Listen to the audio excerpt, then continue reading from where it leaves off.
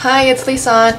For those of you who have been following my channel for the last year or so, you'll know that I've been making videos on authority nutrition. It's just a small portion of what I've been doing on YouTube, but I've had quite a lot of comments on those videos and um, I think that they're one of the more unique kind of videos that I do. I actually like reading articles and reading scientific journals and seeing whether the dietary advice on the internet is actually true or not and whether it really is based on science. Because Authority Nutrition is a website that's founded by Kris Gunnars, he's a medical student, and now it's a team of people who are writing the articles. The website claims to be all based on science. I'm not saying that I disagree with all the articles, but there's quite a few that I find a bit misleading, and I've actually subscribed to their newsletter. I thought that I would make videos on the different topics that I have encountered through their website and their newsletter, especially the articles where I find that there are things that are misleading and that could be potentially dangerous advice to give. And one example is a recent newsletter that I got that was called 10 Replacements for Wheat Bread. Not everything in the article is terrible, but I'll read out a little bit of it and you'll see what I mean by how the website mixes good advice with bad advice. And it starts off with the introduction that wheat bread for some people can be a problem because of people with gluten insensitivities and um, bread is also sometimes stripped of its fiber and nutrients. So if you can find a replacement for bread, then go ahead and try. This person who wrote the article was not Kris Gunnars, it was by Adda Bjarnadottir. The first thing that he recommends as a replacement to wheat bread is Oopsie bread, and it's one of the simplest and most popular low carb breads. It can be made from only eggs, cream, cheese, and salt.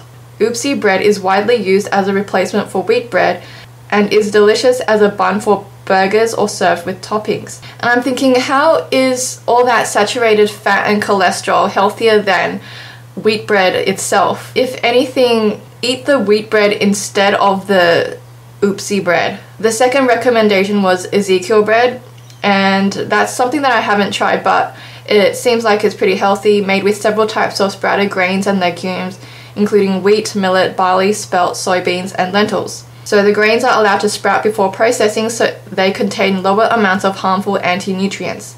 This makes the bread much more nutritious and easily digestible. Number three was corn tortillas. Tortillas can be made with either wheat or corn. Corn are gluten free but high in fiber, making them a great option for people who are sensitive to gluten. Fourth recommendation was rye bread. Fifth recommendation was lettuce and leafy greens. So, lettuce and leafy greens are very healthy, but as a replacement for wheat bread where you still want the same amount of calories or you still want the carbs for energy, then lettuce and leafy greens aren't exactly the best replacement.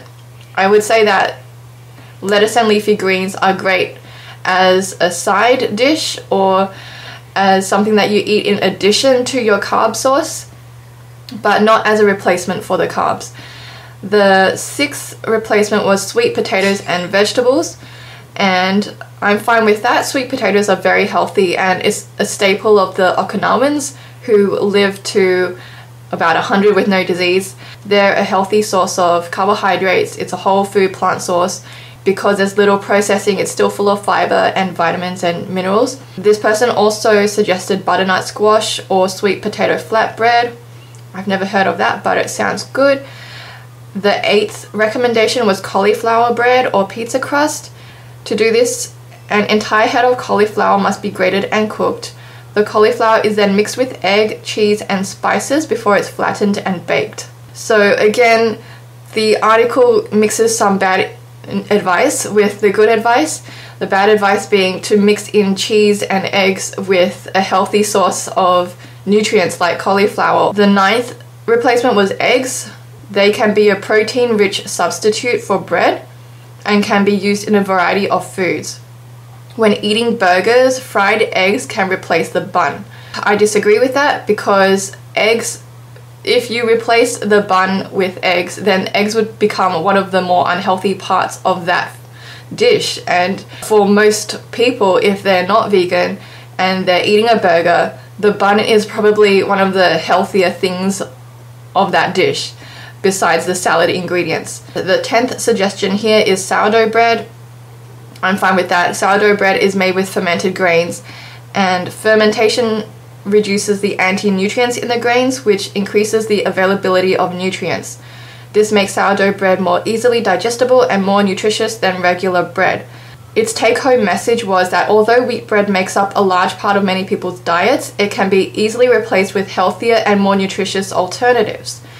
So I don't agree with the all the alternatives that uh, the author gave in this article, particularly regarding adding cheese and eggs and cream into the dish instead of whole wheat bread. I think that the whole wheat bread would be healthier.